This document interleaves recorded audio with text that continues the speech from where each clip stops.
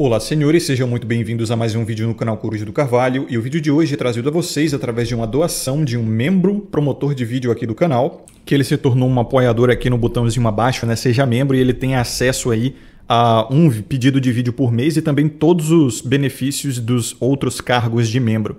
Ele tem acesso à área privada do meu servidor do Discord, tem acesso aos mais de 300 vídeos privados aqui do canal, os mais pesados, né?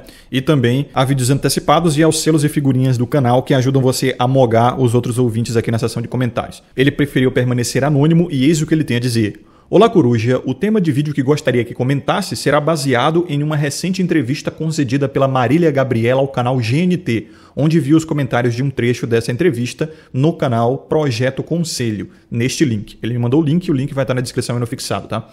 Num trecho da entrevista, Marília Gabriela relata como tem vivido solitária, dos momentos de tristeza que chegam a levá-la ao choro.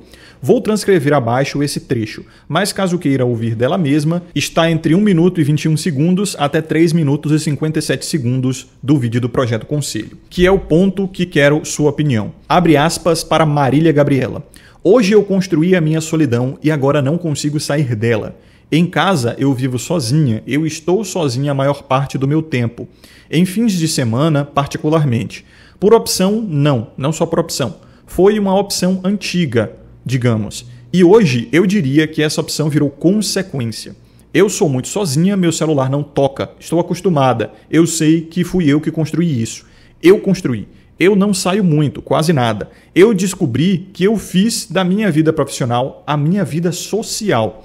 Todas aquelas entrevistas, aquelas pessoas, tinha dias que eu entrevistava várias pessoas de uma vez, em três emissoras. Aquilo para mim era o meu social. Batia papo, eu ali não precisava de mais nada. Aí eu voltava para casa e vinham os convites de amigos. Vamos fazer isso, vamos jantar aqui. E eu respondia: Ah, tá, não, tô cansada, vou ficar em casa. Porque estava satisfeita, eu já tinha tido o, entre aspas, meu social. E quando eu me afastei desse meu social, quando eu deixei de trabalhar e comecei a perceber o que era realmente a solidão, que não era só aquela noite que eu tinha memórias do dia. E não tendo as memórias do dia, eu comecei a perceber: ah, então é isso que é ficar sozinha, ser sozinha. E então, algumas vezes, umas três vezes que eu me lembro, eu chorei. E sem pudores. Se me der vontade hoje, a hora que eu voltar para casa, sentar lá, me der uma vontade de chorar, eu choro um pouco. E aí vou à cozinha, preparar alguma coisa, ligo a TV, vejo uma série e tal. Então, eu sei que sou responsável pela vida que tenho hoje. Fecha aspas para Maria Gabriele, voltando aqui ao e-mail do Anônimo. Como podemos notar, a escolha por uma vida mais reclusa, por não saber dividir o trabalho da vida social, levou ela a uma velhice solitária. E olha que ela deve ser milionária e tem filhos.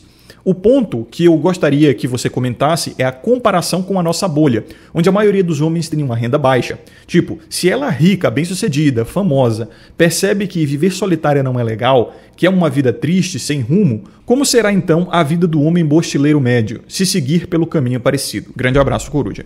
E a usuário anônimo, eu que agradeço por se tornar membro aqui do canal e apoiar o conteúdo. Caso vocês queiram se tornar membro, como já falei, o, o botão está aqui embaixo, né? Seja membro. Vocês têm acesso à promoção de vídeo mensal aí e também a todos os outros benefícios de, dos outros cargos de membro. Ou então você pode fazer isso através de uma doação ao canal, no link da descrição e no comentário fixado, e assim vocês ganham é, acesso vitalício a conteúdos antecipados, tá? No mais, vocês podem deixar um like, se inscrever, ativar as notificações e, é claro, ficar à vontade na seção dos comentários, como sempre. E vamos à dura realidade desse caso aqui. Eu não quero desfazer do sofrimento da Marília Gabriela nem nada, mas a grande verdade é que muitas das vezes, por conta dessa questão do estrelato, né, a gente está vendo pessoas passando por coisas que podem ser correlacionais às nossas, né, sofrimentos parecidos com os nossos, e a gente é, tenta se humanizar em relação àquilo porque é uma característica humana. Mas provavelmente ela não está sofrendo tanto quanto você. Olha, uma verdade também. Homens têm menos depressão que as mulheres, pelo menos em, em alguns pontos percentuais. Mas tem uma subnotificação aí. Os homens sabem que ninguém liga para os seus problemas, então eles acabam não procurando ajuda, e mesmo quando procuram, ninguém liga. E se ninguém liga, ninguém nota. Se ninguém nota, não vai para os censos, né?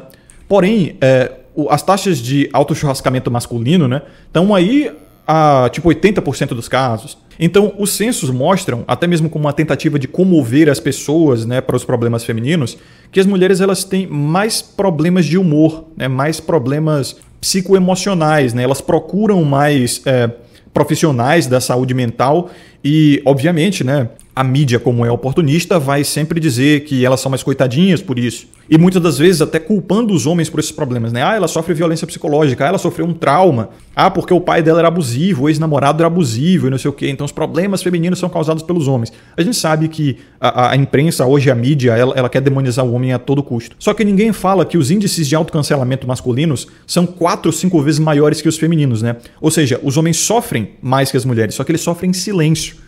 E aí, muitos deles acabam indo às vias de fato, né? Ao autocancelamento ali.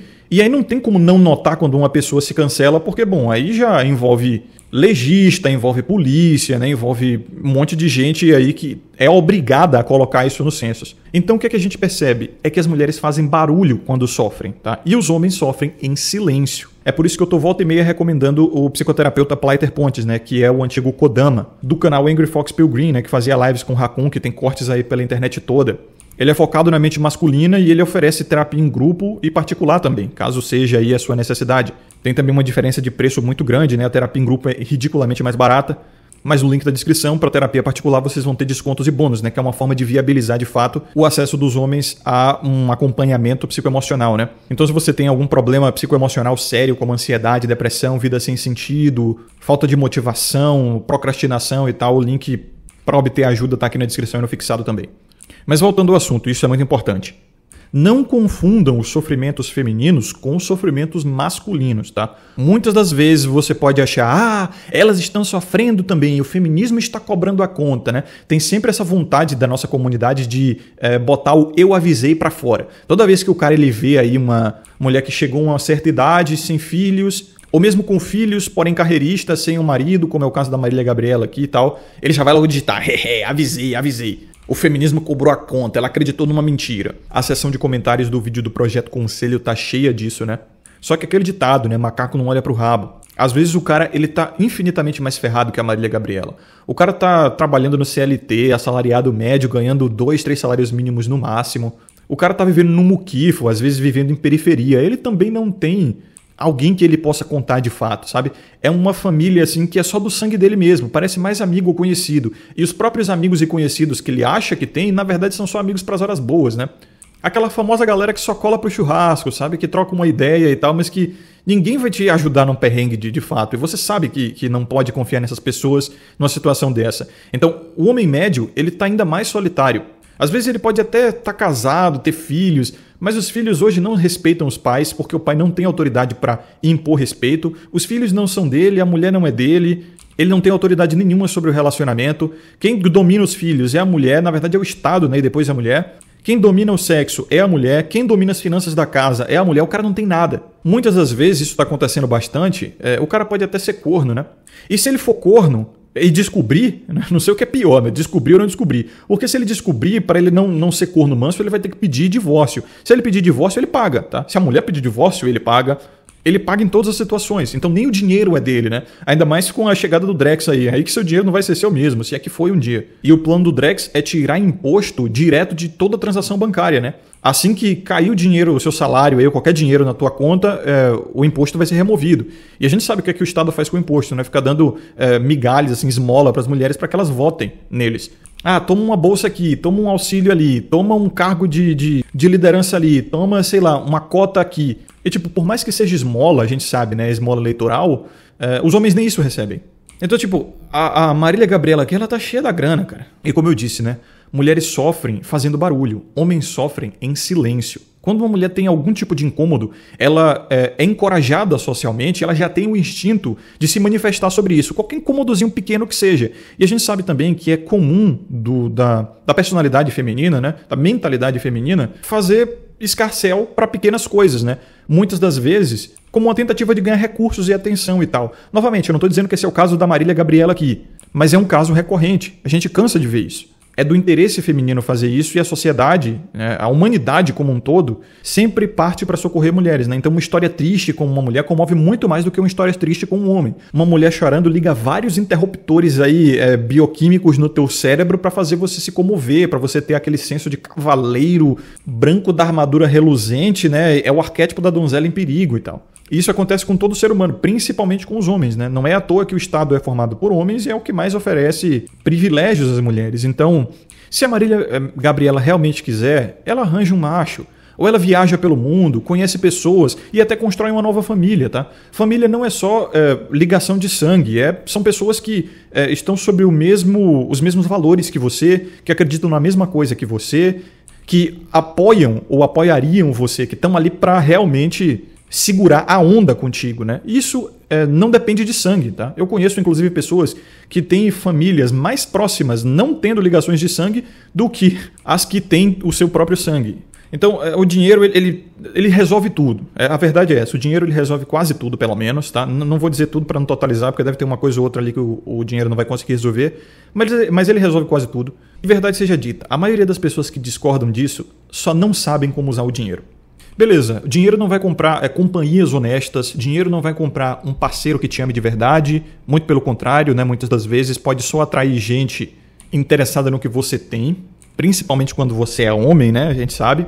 Mas ter dinheiro te permite se expor a muito mais gente, a viajar o mundo e conhecer novas pessoas. E a verdade também é o seguinte: é que ser pobre, não ter dinheiro, também não vai te garantir companhias honestas, né? Companhias realmente interessadas em você, seja para relacionamentos sexuais afetivos ou só para amizades. Verdade seja dita, o que o dinheiro não traz, a pobreza também não traz. E geralmente essa coisa de ah, mas o dinheiro ele vai atrair pessoas ruins. Cara, eu conheço gente que está rodeado de, de pessoas ruins e é pobre, tá? Repito, e botem isso na cabeça de vocês, introjetem isso. O que o dinheiro não traz, a falta dele também não traz. Mas antes de continuar o vídeo, saibam que existe um servidor de GTA RP chamado 5Z focado em sobrevivência pós-apocalíptica, onde o objetivo é você construir suas próprias armas, montar seus equipamentos, coletar os recursos para isso, sobreviver aos zumbis e principalmente aos seres humanos, que como a gente sabe são os piores monstros. No link da descrição e do comentário fixado vocês têm acesso ao servidor e vocês podem digitar o comando barra código e colocar o código corujão. Mas isso só depois de vocês cumprirem o tutorial, tá? Com esse código vocês vão ter acesso a um kit iniciante e também uma graninha para gastar na loja VIP e já sair na frente. Mas agora voltando ao vídeo. Mil vezes eu estar na situação da Maria Gabriela do que na que eu tô hoje. Pelo menos ela assumiu responsabilidade, né? Ela disse que se responsabiliza por isso e tal, e muitas das mulheres nessa idade elas jogam a responsabilidade em qualquer outro. Ai, mas me enganaram, disseram que eu seria feliz se fosse carreirista. Ai, mas os homens não me querem porque eu tô velho e eles só querem as novinhas, logo eles são predadores. Eles são misóginos e não se esforçam para gostar de mulher. Ah, eu só tive mais experiências com os homens, então eu, eu, eu acabei me tornando desconfiada e agora não quero mais ninguém. Pelo menos ela assumiu a responsa aqui, né? Já é honradinha nos padrões de hoje, pra você ver, né? Como destruíram por completo, assim, sodomizaram o padrão de exigência dos homens a tal ponto que eles aplaudem hoje o que é ser um ser humano normal e funcional o que antes era para ser o mínimo, né? Então, assumir responsabilidade é o mínimo. E hoje, como inclusive tem muitos comentários lá na seção de comentários do, do vídeo do Projeto Conselho, né? Um monte de cara aplaudindo a Marília Gabriela por simplesmente assumir responsabilidade, que era para ser o mínimo de um cidadão funcional. Então, veja que as mulheres elas têm também esse, esse recurso, né? A sociedade as infantiliza, né? É, sabe quando uma criança ela faz uma coisa que é comum de um adulto? Tu vê um moleque de 7 anos que sabe fazer tudo no celular. Todo mundo fica encantado. Agora, uma pessoa adulta que sabe mexer no celular é só mais um, né? A sociedade trata muito as mulheres assim. É uma infantilização, é um baixo nível de exigência, é uma leniência, uma indulgência, assim, que como o próprio Pleiter, né, fez o vídeo lá, é, clássico aqui da comunidade, na época que ele tinha o canal Angry Fox Pilgrim e operava sob o pseudônimo de Kodama, é uma indulgência que chega a ser patológica, chega a ser doentia mesmo. Então, assim, para ser sincero, eu não tenho uma gota de pena, tá? Não vou mentir. Porque se eu tivesse nessa situação, ninguém teria pena de mim, então eu tô só sendo recíproco. Para ser sincero, eu tô dando o que eu recebo, lá ele. E tomem cuidado, tá, senhores? Mais e mais mulheres vão aparecer e ter esse papinho. Ah, mas eu agora estou solitária, eu choro sozinha à noite. Não tenham pingo de pena, porque ninguém teria pena de você se você estivesse nessa mesma situação. E para ser sincero, elas têm recursos e têm comoção social suficiente para reverter essa situação e viver muito melhor, muito melhor do que qualquer homem poderia. Então, de verdade, não se comovam, tá? E é isso que vai separar os homens dos meninos daqui para frente. Os caras que começarem a sentir aquele ímpeto de cavaleiro branco, conforme uh, os crescentes arquétipos de donzela em apuros comecem a aparecer, né, e vão começar, esses vão ser engolidos e sodomizados. Repito, não tenham um pingo de pena, isso vai acontecer pra caramba e é isso que vai separar os homens dos meninos daqui pra frente. Quem se comover, quem partir para ajudar, já sabe o que vai receber, vai virar aí padrinho de missol, vai virar pegador de titia. E o pior, vai receber ingratidão. A gente sabe como é que é, né? A gente já viu o suficiente disso. E convenhamos, os homens hoje, principalmente os solteiros, os jovens, eles estão fudideodós. Tu não enche o balde do próximo quando o teu tá vazio. Fica com peninha, mas olha para si mesmo. Se olha no espelho, tu tem que ter pena de você, pô. Você que tá fudido. Tu mora no Brasil, tu já é fudido. Esse é o ponto. Tu pode até ser rico, ter uma grana aí, ganhar 10 mil, 15 mil. Tu mora no Brasil, cara, tu já tá fudido. Teu plano é sair daqui, porque essa porra vai se tornar uma ditadura. Sai dessa merda, tá? E a porta tá fechando. Eu já estou trabalhando nisso e assim, ah, mas Coruja, eu ganho bem porque eu sou funcionário público, não sei o quê. Não, não, tu mora no Brasil, tu não, tu não tá vivendo bem, não, tá? Primeiro passo é sair dessa latrina.